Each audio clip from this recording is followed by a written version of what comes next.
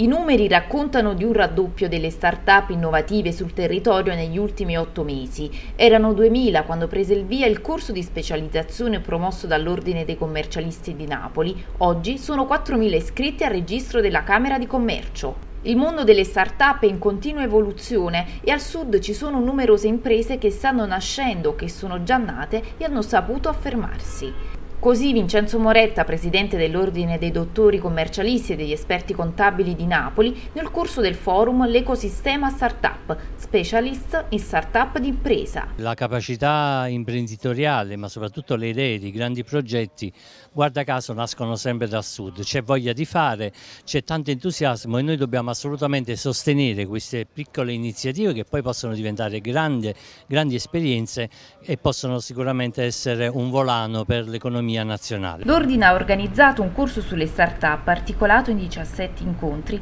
ai quali hanno partecipato docenti provenienti da tutta Italia, commercialisti, avvocati, broker assicurativi e analisti finanziari.